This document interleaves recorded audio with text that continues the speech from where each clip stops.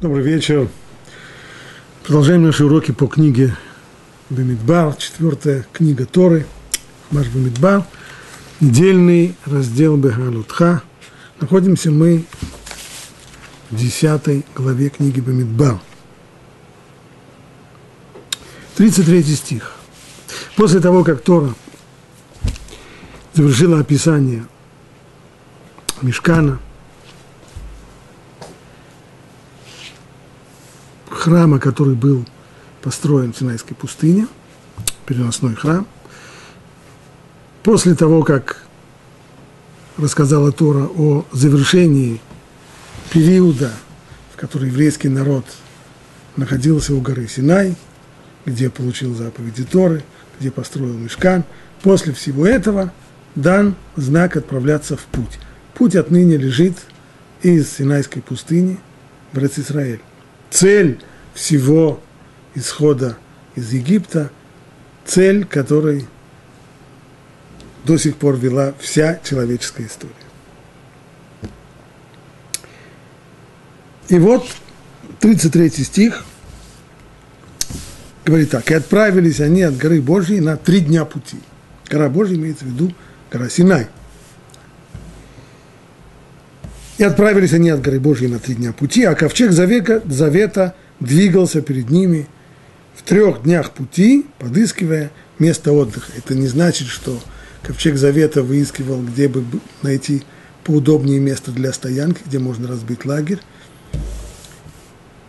Движение по Синаю, как это сказано в предыдущих главах, было именно вслед за ковчегом. Он шел вперед, вперед, он прокладывал дорогу, и в том месте, где он останавливался – Вовсе не обязательно, потому что там было самое подходящее место для ночевки, а потому что так это, таково было желание свыше, именно там еврейский народ останавливался. И когда ковчег отправлялся в путь, то и евреям ничего не оставалось, кроме как собрать свои пожитки и двигаться вслед за ним. Это был порядок движения по пустыне.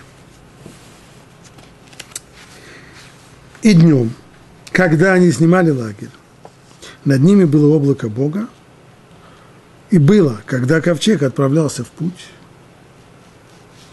вот порядок, который был уже помянут на предыдущих уроках, когда облако перед этим, бывшее в виде шатра над мешканом, над переносным храмом, когда оно вытягивалось, подобно балке, в сторону колена Иуды, авангард, авангарда движения еврейского народа по пустыне. Это был знаком тому, что нужно выходить в путь. И тогда, когда такой знак был подан, и было, когда ковчег отправлялся в путь, Муше говорил, встань же, Господи, и рассеются твои враги, и побегут от тебя ненавидящие тебя. То есть сначала был знак облака, Затем Моше произносил эту фразу, затем ковчег двигался в путь, и вслед за ним уже весь народ. А когда останавливался, он говорил, возвратись же, Господи, к мириадам тысяч Израиля. И здесь тоже был сам, тот же самый порядок. То есть сначала облако давало знак остановки, Муше говорил, возвратись же, Господи, к мириадам тысяч Израиля, ковчег останавливался, и вот здесь вот и устраивался лагерь. Раши обращает здесь наше внимание на то, что в оригинале, в тексте Торы, здесь стоят странные знаки. Вот от 35 стиха «И было, когда ковчег отправлялся в путь», Муше говорил, «Восстань же, Господи, рассеются твои враги». И до конца 36 стиха, а когда останавливался, он говорил – возвратись же, Господи, к мириадам тысяч Израиля. То есть вот этот отрывок с двумя фразами Муше, которые были в начале каждого похода и в конце каждого похода, вот эти две фразы, они как бы заключены в скобки. Только скобок настоящих в оригинальном тексте Торы нет. Вместо этого стоят знаки. Пишет Раши, здесь поставлены особые знаки, имеется в виду перевернутые буквы «нун». это перед стихом 35, и после 36 стиха, выделяя их, как бы в скобках. Эти знаки, привернутые буквы «нун», в других местах мы не встречаем. Здесь они используются для того, чтобы выделить место скобок. Любопытно, что корпорация Microsoft в своем э, коде э,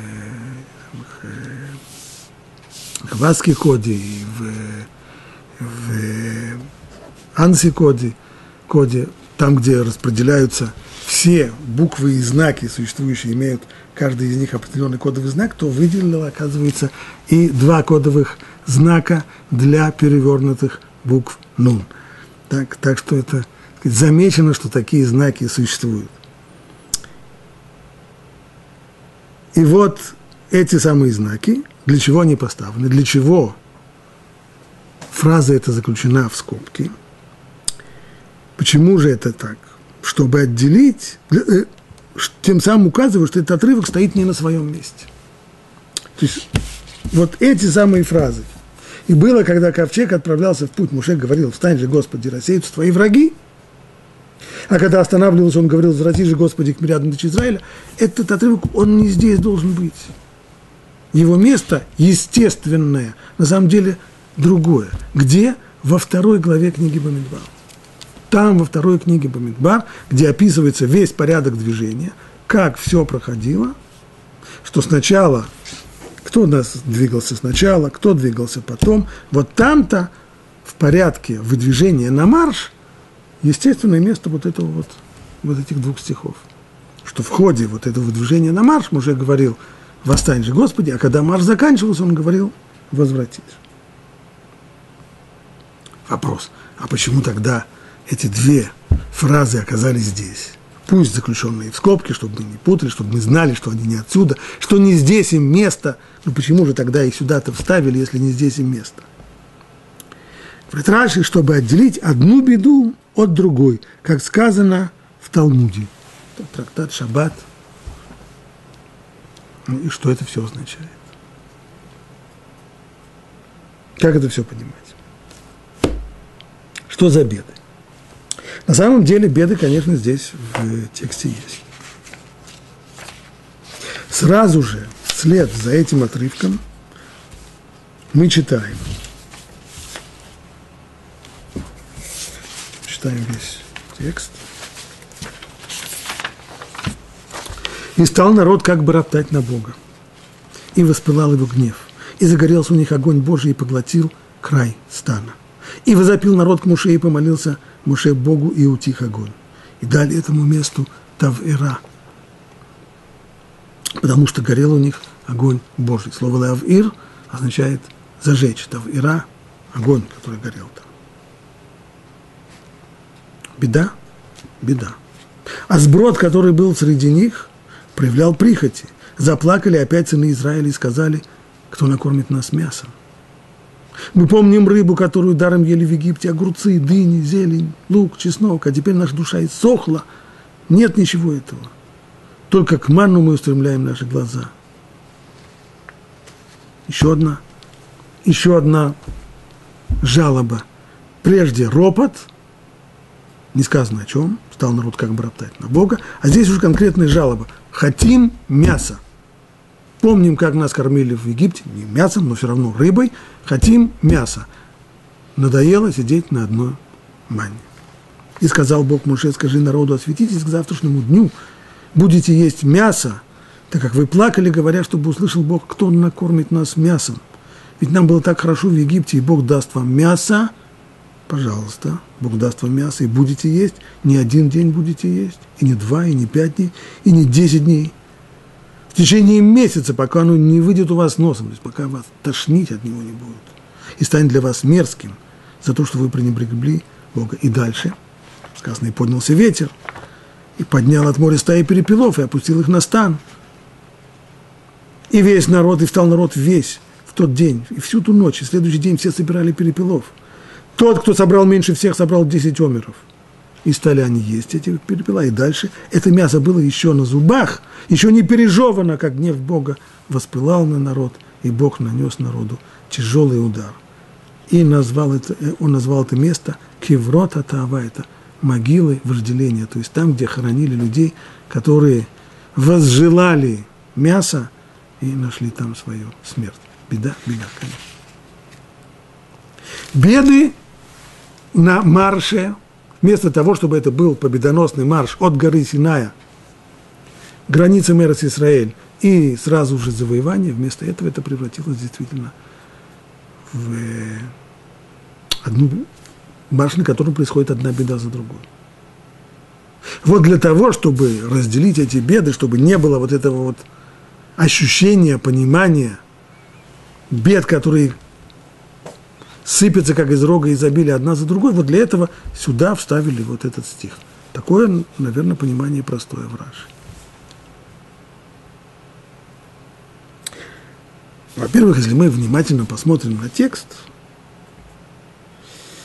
что трудно сделать э, на слух, а показать текст я, к сожалению, не могу.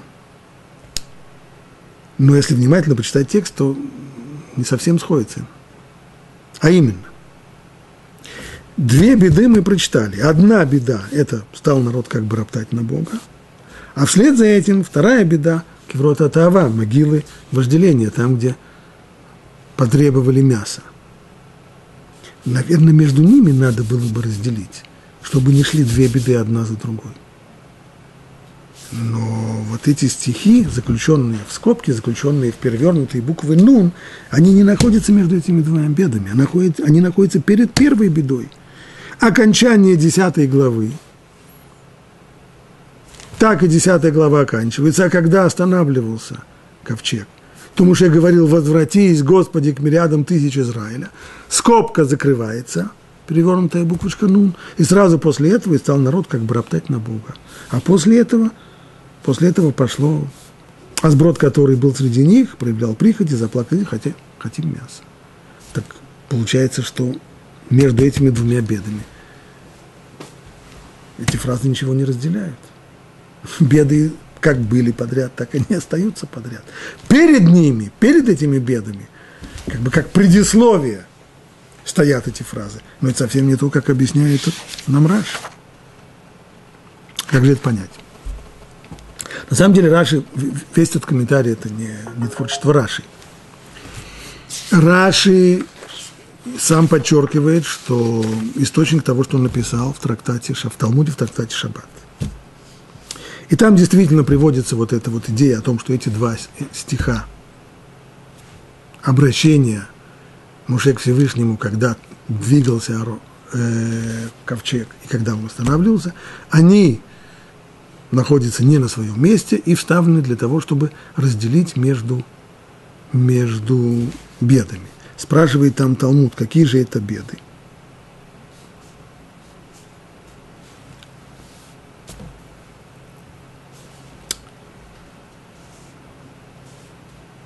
объясняется там, имеется в виду вторая беда.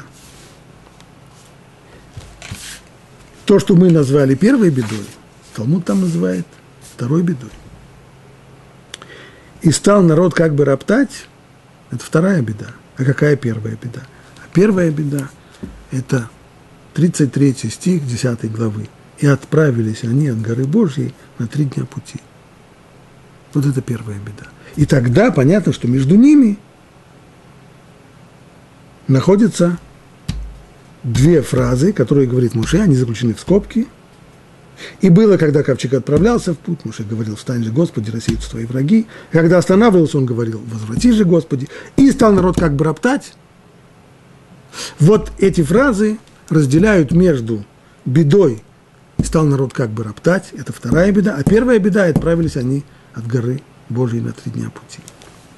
Так сказано там в Талмуде.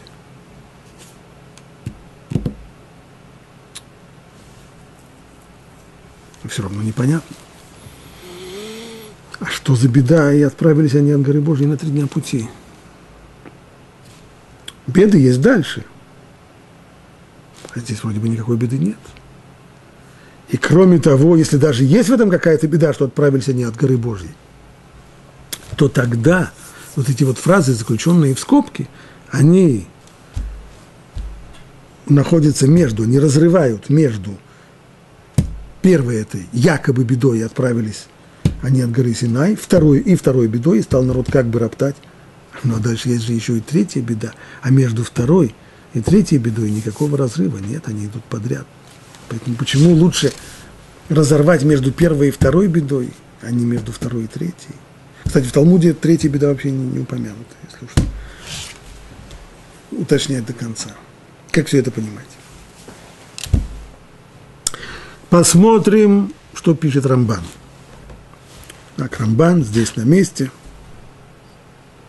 Цитирую сначала Раши, и было, когда ковчег отправлялся в путь, здесь поставлены особые знаки, теперь вернутые буквы Нун, до и после этих двух строчек Торы, чтобы показать, что это не их место, этих строчек, почему они помещены здесь, чтобы отделить одну бедро, беду от другой, как сказано в Талмуд Шаббат, так комментирует Раши. Но он не указывает, что это за беда здесь, в своем комментарии к Пятикнижию, к Торе, Раши не указывает, о каких конкретно бедах идет речь. Это только мы сами стали догадываться, и вот посчитали, что первая беда, очевидно, это ропот, и стал народ как бы роптать, а вторая беда, а сброд, который был среди них, проявил, стал проявлять прихоти и потребовали мяса. Не указывает Раши в своем комментарии к Торе, какую беду-то надо отделить. Ведь перед строкой и было, когда ковчег отправлялся в путь, вроде бы не упоминается никакая беда. Но там, в Талмуде, сказано, что вторая беда названа в строчке, и стал народ как бы роптать на Бога. То есть то, что мы почитали первой бедой, на самом деле, говорит Талмуд, это вторая. А первая беда в строке отправились они от горы Божьей, и по словам Раби Ханины, так объясняет там Раби Ханина, отправились они от горы Божьей, это означает о том, что они отвернулись от Бога. Где здесь увидел Раби Ханина, где здесь увидел Талмуд, что они отвернулись от Бога? Отправились они от горы Божьей. Куда они отправились? В поход по Синайской пустыне для того, чтобы пересечь ее и выйти к рубежам Эрец Израиль.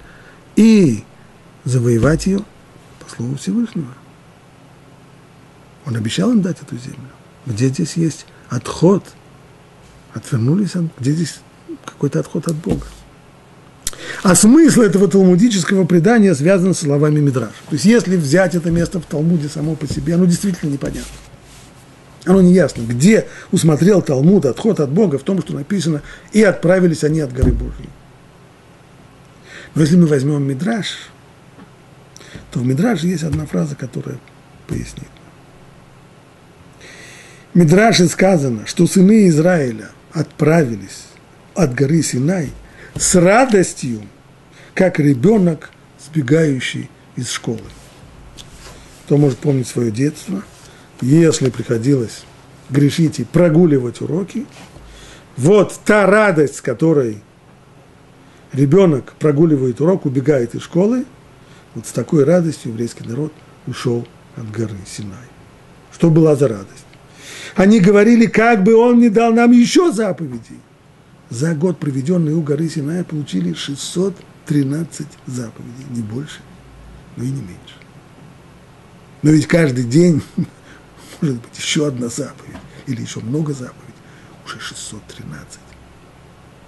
Это уже, заповеди уже окружают нас со всех, со всех сторон. Куда, куда не обратись, все регламентировано и как есть, и что есть, и что не есть, и как работать, и как не работать, и какие жертвы приносить, и каким образом строить бизнес, и как всюду и везде заповеди, заповеди, заповеди, и обязанности, не только запреты, но и обязанности. И вот когда все это наконец кончилось, когда наконец ушли от горы Синай, фух, ушли с радостью, как ребенок убегающий из школы. Вот она беда. Продолжает дальше Рамбан, и поэтому сказано, и отправились они от горы. То есть, не слишком ли это э, творческий комментарий? Говорит Рамбан, нет.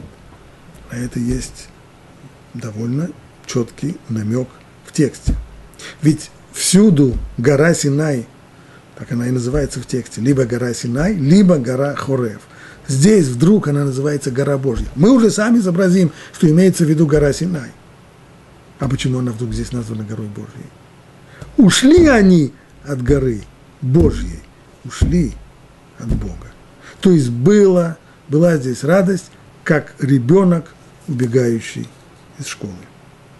В этом заключалась первая беда. И эта беда отделена от двух последующих, для того, чтобы в повествовании не получилось трех бед подряд, как будто бы сыны Израиля обречены на несчастье. То есть, говорит Рамбан, конечно же, вот эта самая первая беда, нужно было ее отделить от двух следующих. То есть, если бы было только две беды, более того, мы спрашиваем, хорошо, но дальше же есть вслед за этим, после первой беды, убедили нас, что это беда. То, что написано, и отправились они от горы Божьей, это была беда. Они сбежали подобно тому, как, как, как убегает ребенок из школы. Хорошо. Отделили это от следующей беды. Какая беда? И стал народ как бы роптать на Бога. Но дальше есть же еще и третья беда, и она идет сразу после второй. А сброд, который был среди них, проявлял прикати, заплакали опять сыны Израиля, сказали, кто накормит нас мясом? И опять же, отвечает Рамбан, а то, что есть две беды подряд, это не страшно. Страшно, если есть три беды подряд. На чем основано такое понимание? Почему Тора не хочет, чтобы было три беды подряд, а если есть две подряд, то это не страшно? Понятие троекратного повторения в, в Талмуде имеет значение хазака, уверенность. Что это означает? Если есть какая-то определенная линия поведения, нечто естественное, нормальный ход событий, и вдруг случается какое-то событие из ряда вон выходящее. Как мы к нему относимся? Случайность. Ну, самый известный хрестоматийный пример, который Талмуд разбирает – это поведение быка. Бык вообще-то достаточно миролюбивое, а подчас попросту сонное животное. Я не имею в виду бык, которого выводит на кориду и специально его выводит из себя. Обычный нормальный бык, достаточно миролюбивое, ленивое животное. Но вот бывает, что бык вдруг, что называется, взбесится и кого-нибудь боднет. Что произошло? вещь из вон уходящая. Имеем ли мы претензии к пастуху, который его от этого не уберег? Нет, потому что он, где ему было предвидеть, речь же не идет о какой-нибудь злой собаке или еще какому-нибудь агрессивному животному. Бык – случайность. Через некоторое время этот бык снова кого-то забодал. Что это? Это все еще случайность. Но если это случится третий раз, то говорю, вот это уже не случайность. Три раза подобное проявление говорит о том, что перед нами закономерность. То есть этот данный бык, хотя изначально от природы он был мир, достаточно мирным, миролюбивым существом, то сейчас в нем произошли какие-то изменения. Теперь он стал агрессивным. Теперь перед нами агрессивный бык, которого необходимо беречь, стеречь, точно так же, как и любое другое агрессивное животное вот это вот переход, как, когда, когда происходят нетипичные события, отличающиеся от привычного хода, естественного, нормального, и когда это повторяется три раза, то это заставляет нас говорить, что перед нами закономерность, это изменение, которое произошло. Отныне я ожидаю, что подобное может случиться в любую минуту. Если это случилось три раза, то нет причины, по которой это не случится в четвертый и в пятый раз.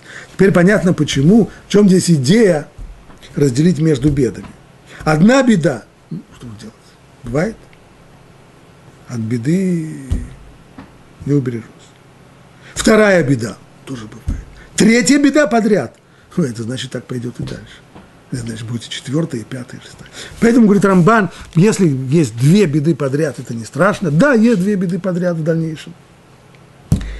И стал, рабо, и стал народ как бы роптать на Бога. Это первая беда. И вторая – это история о могилах вожделения. Это две беды подряд. Но это не страшно. Если бы была рядом с ними еще и третья беда, вот это была бы катастрофа. Поэтому Тора отделила первую беду и отправились они от горы Божьей на три дня пути от двух последующих. И все же вопросы не кончились. Рамбан, поддержки, опираясь на Мидраш, убеждает нас, что первая беда, которую нужно было отделить от последующих, это то, что сказано, отправились они от горы Божьей, как это трактирует, трактует Талмуд, что отвернулись они от Всевышнего. Но это же не беда, это грех. Вот то, что дальше написано, когда народ стал роптать, то возгорел у них огонь Божий. Были люди, которые погибли в этом огне. Гибель людей – беда. А сброд, который был среди них, стал проявлять плихоти. Заплакали сыны Израиля, сказали, хотим мясо. Чем это закончилось? Тем, что люди, которые ели мясо, погибли. И назвали это место Кеврота Тава, могила вожделения, ибо там похоронили вожделевших. Вот это беда. Так есть беда, есть грех. То, что написано раньше, это, это грех, скорее, а не беда. Отвечает Рамбан на наш вопрос. И грех называется в Талмуде бедой. Да, конечно, это грех. Но Талмуд называет это бедой, несмотря на то, что из него, на первый взгляд, вроде не вышло никакой беды. Там, где есть грехи, есть и в, предыду... в последующих случаях. Сначала был ропот, но этот ропот мы называем бедой. Почему? Потому что кончилось это бедой. Огонь! Дальше люди требуют мяса, это тоже грех. И это тоже бунт. Но это беда. Почему? Потому что кончилось это бедой. Люди погибли. А здесь Здесь никакой вроде беды нет. Почему же тогда Талмуд может считать это бедой? Но возможно, что если бы не этот грех, то они сразу бы вошли в землю Израиля. Если бы не убежали, если бы не было тогда вот этого вот постыдной радости от того, что уходим от горы Синай, все, заповедей больше нам не дадут, слава тебе, Господи – если бы остались на прежнем высоком уровне, то тогда вход в страну Израиля был бы действительно триумфальным. Быть может, Рамбан имеет в виду, что тогда не потребовались бы никакие естественные усилия для того, чтобы завоевать страну Израиля. Точно так же, как и исход из Египта был абсолютно сверхъестественным явлением, также на той же самой волне, с той же самой силой и завоевание страны обетованной было тоже бы сверхъестественным не нужно было бы никаких, никаких военных приготовлений. В том числе не надо было бы посылать разведчиков для того, чтобы разведать пути, по которым будет осуществляться вторжение. А ведь именно разведчики, которые послали в страну Израиля, и принесли они недобрые вести о том, что народ, который живет в стране, слишком силен, и у нас нет сил для того, чтобы с ними совладать. Именно этот, эта самая история привела к тому, что еврейский народ – задержался в пустыне на 40 лет. Это же беда. Конечно же, беда. А начало всего, и отправились они от горы Божьей. Отвернулись от Бога. Так пишет Рамбан. Почему Раши не принял этого подхода?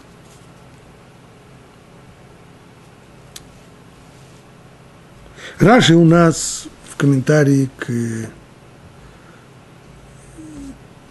к Торе в действительности не пишет, какие именно беды должен разделять этот отрывок. Но Раши в комментарии к Талмуду называет первая беда, и стал народ как бы роптать, вторая беда – это могилы вожделения, когда потребовали мяса. Почему так? Ну, прежде всего, потому что, в общем-то, мы уже почти ответили на этот вопрос. Так это подробно объясняет э, Маораль в э, Гурарье. Потому что прежде всего, если мы скажем, что первая беда – это то, что они отправились от горы Божьей, тогда совершенно неясно, почему этот отрывок отделяет одну беду от другой, ведь в дальнейшем идут две беды, которые, которые идут подряд. А объяснение Рамбана о том, что две беды подряд это не страшно, главное, чтобы не было трех бед вместе, оно Раши не удовлетворяет. Поэтому Раши понимает так, что отправились они от горы Божьей на три дня пути, и уже, когда отправились, у них уже началось это брожение, надоело нам манна, хотим мясо, вспомним, как в Египте нас кормили. Все это прорвалось через три дня, но началось это еще при отходе, при самом первом переходе от горы Синай. Но теперь я хочу сосредоточиться на том, что говорит здесь Рамбан. Так Рамбан упомянул Мидраш, по которому первая беда была в том, что ушли от горы Синай с радостью, подобно ребенку, который сбегает из школы. Это очень странный мидраж. Ведь Тора подчеркивает, знаете, вспомню самое начало всего пути еврейского народа по пустыне. В середине девятой главы книги Бамидбар. Там Тора четко проговаривает и несколько раз повторяет, что все движения еврейского народа по пустыне были только по Слову Божьему. Ну, почитаем. И когда облако поднималось от шатра, сыны Израиля отправлялись в путь. А в месте, где облако опускалось, сыны Израиля располагались станом. По слову Бога отправлялись сыны Израиля, и по слову Бога располагались станом. Все дни, пока облако покоилось над мешканом, они стояли станом. Даже когда облако задерживалось над мешканом много дней, соблюдали сыны Израиля то, что Бог указал и не трогались в путь. Иногда случалось, что облако оставалось над мешканом всего несколько дней. По слову Бога они располагали станом, по слову Бога они трогались в путь. Только по слову Бога. Они самостоятельно никуда не отходили. А уж тем более не могли они отойти, убежать от горы Синай. И также иногда случалось, что облако оставалось только с вечера до утра, и как только облако поднималось утром, они отправлялись в путь.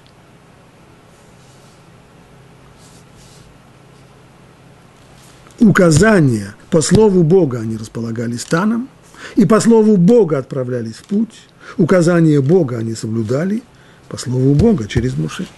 И сам Рамба, комментируя этот отрывок, объясняет, почему Тора так подробно, подробно перечисляет, перечисляет здесь все возможные варианты, а иногда много дней они сидели, а иногда всего лишь один день, а иногда два дня, а иногда месяц, а иногда... Да, можно было бы проще сказать. По злову Бога располагались станом, по злову Бога отправлялись в путь. Указания Бога они соблюдали. Пишет Рамбан, Тора здесь хочет похвалить еврейский народ.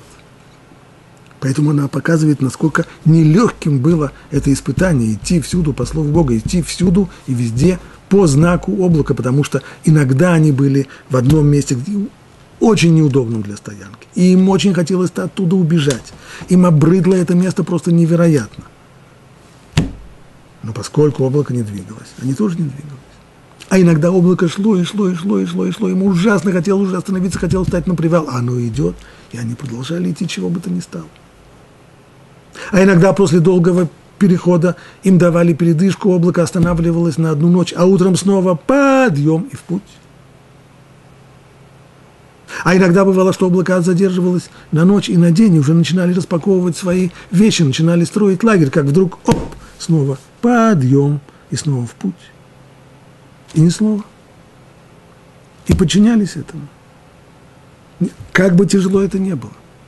Так как же можно сказать, что от горы Синай ушли с радостью, как ребенок, который сбегает из школы? Кто сбегал из школы? Кто здесь уходил? Кто здесь убегал? Наоборот. И так Рамбан там говорит. Соблюдались на Израиле то, что указал Бог, не трогались в путь, так как они не трогались в путь из страха перед Богом и из желания выполнять Его заповеди. Из-за богобоязненности, из-за желания выполнять заповеди. Так где здесь можно, как здесь можно увидеть в уходе от горы Синай, в том, что отправились от горы Божьей, как можно увидеть здесь ребенка, который избегает из школы.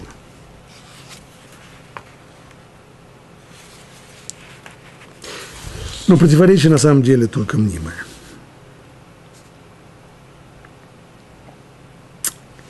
В действительности, из самого текста получается, что еврейский народ не делал ни шагу без того, чтобы на это был приказ, повеление свыше. Не двигался в путь без повеления свыше и не останавливался на привал без повеления свыше. И от Синая тоже ушли только тогда, когда получили этот знак. Когда облако, бывшее над соборным шатром, собралось, вытянулось, направилось в сторону колена Иуды, которые должны были выступать первыми.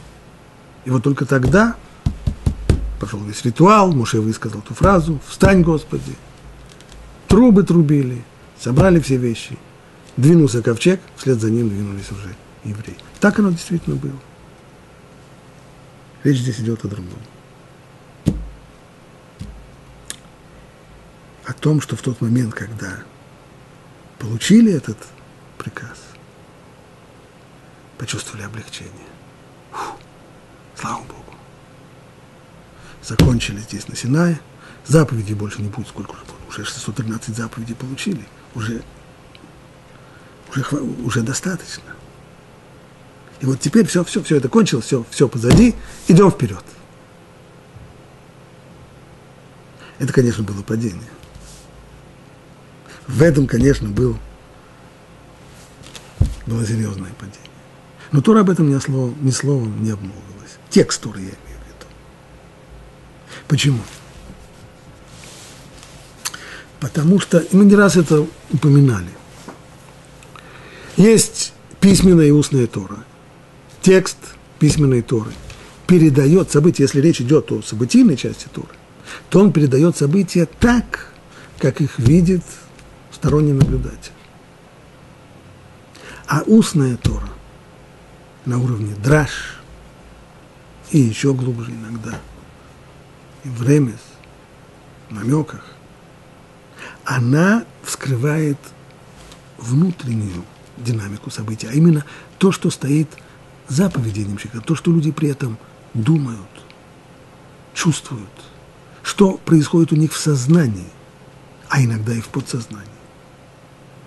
И вот в действительности сторонний наблюдатель, если кто-нибудь наблюдал бы тогда в Синайской пустыне, кто-нибудь из аборигенов, наблюдал бы поход еврейского народа по Синайской пустыне, то он увидел бы действительно фантастическое зрелище, как огромный народ, миллионы людей, все добровольно подчиняются Слову Божьему.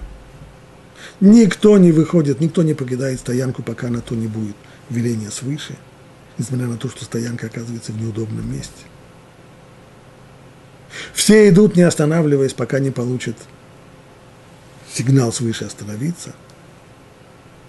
Полное, тотальное, добровольное, но совершенно полное подчинение воле Божьей. Но сторонний наблюдатель не разглядел бы, что при этом люди думают, что они при этом чувствуют. И это то, что вскрывает Митраж. Что когда, наконец, прозвучал сигнал,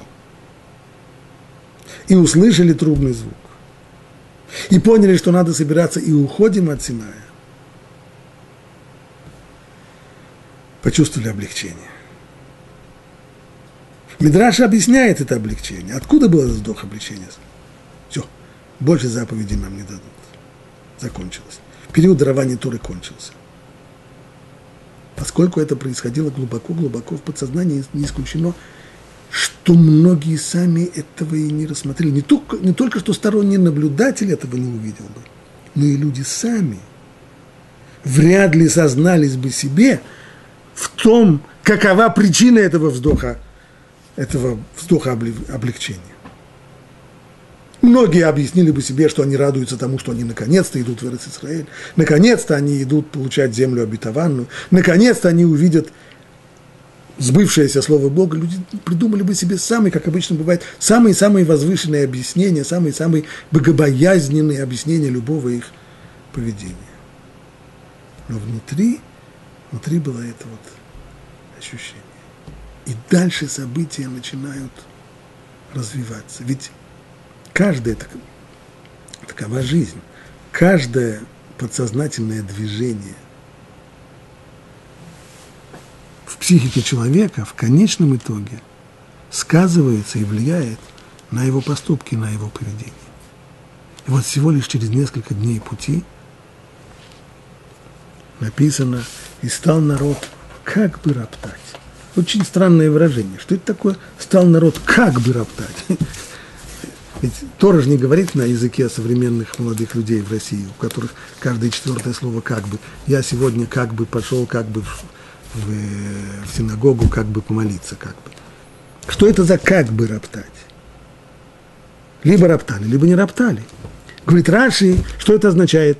Как бы роптать, то искать повод. Что это означает? Что, в общем-то, изнутри уже зреет недовольство. Оно проявилось сначала, все, слава Богу, заповеди больше нет. Но, в общем-то, это означает, что уже немножко нам тесно становится. Много заповедей, много от нас требуют. То нельзя, это нельзя, там нельзя, это нельзя, вот это делай, вот это делай, и сейчас этот путь еще, и куда идем. Неосознанное, смутное недовольство зреет изнутри. Человек чувствует себя, настроение у него плохое. А если спросить, ты чего? Ничего, вроде все нормально. Но что-то там есть. И человек начинает сам искать причины, чем же он недоволен, чего же ему не хватает-то. Это как иногда спрашивают у капризничего, у ребенка, который капризничает, чего ты хочешь? Он за минуту до этого не знал, чего он хочет, он начинает придумывать, что я хочу. Пока что не знаю, что он вот как бы роптать. Даже не сказано, на что они жаловались. Нету здесь жалобы. Ищем предлога. И, наконец, через некоторое время идем, идем еще в путь. После того, как этот ропот закончился, закончился трагически, огонь разгорелся и поразил крайних в стане, небольшую группу людей. После этого Азброд, который был среди них, проявлял похоть, заплакали опять и сыны Израиля, сказали, кто накормит нам мясом, вот оно что, знаем теперь, что нам не хватает, мясо хотим. Мясо хотим, вот чего не хватает. А, а, весь год одной манной только и питаемся. Утром ман, вечером ман. Надоело. Мясо хотим. Каких пор мясо? Мы помним, как в Египте рассказывали, что в Египте мясом кормили. Нет, ну мяса там не было, но рыба была. Много рыбы. И, и вообще. И много всякой зелени там было. Конечно, до сих пор в Египте полно зелени. Вот чего нам не хватает. Здесь уже это прорвалось наружу.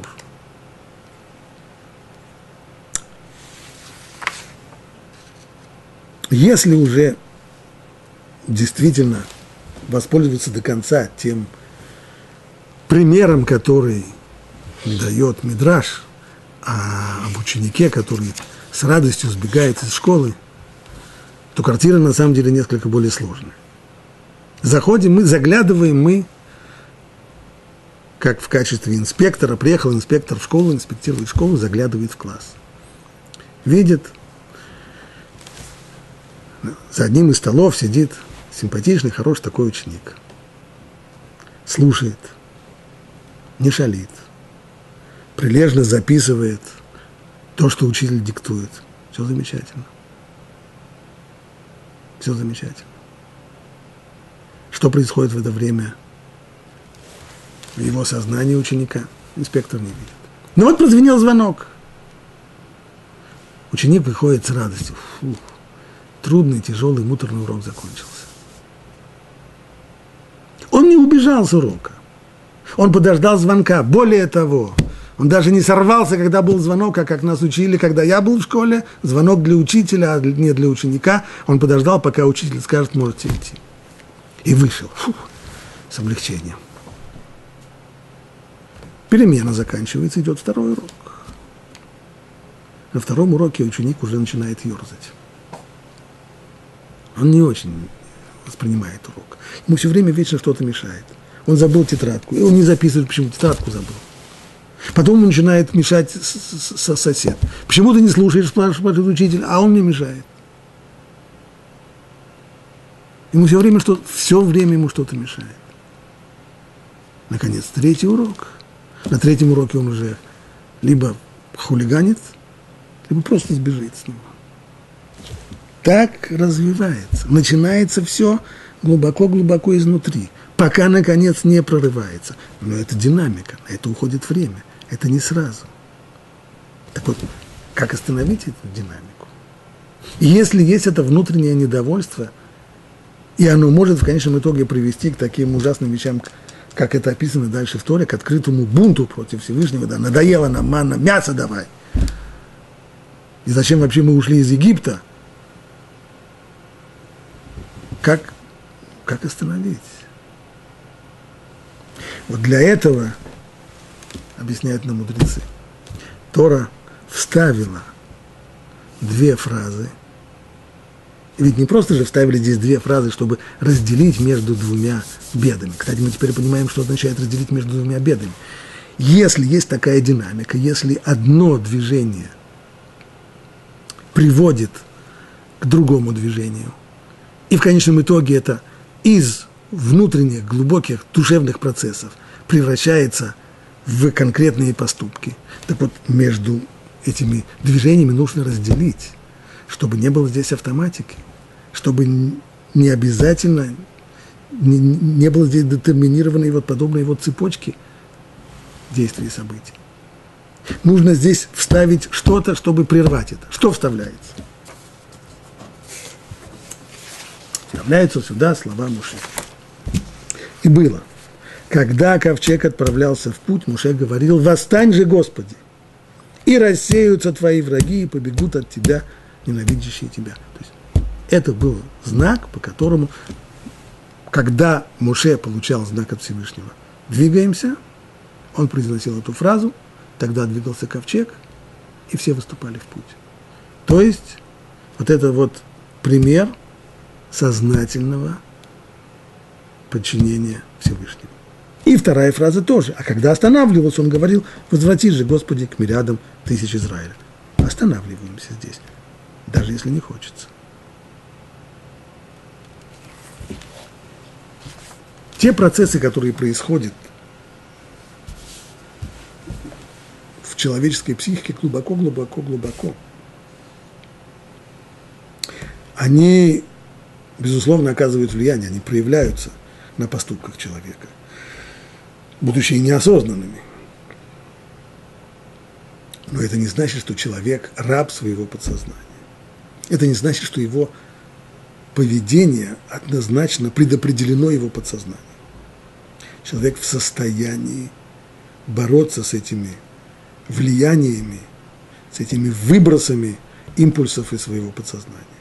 Каким образом? Это то, что нам говорится здесь. Когда человек добровольно я сознательно, и осознает это, что он принимает на себя подчиняться, подчиняться той цели, которая ему дана.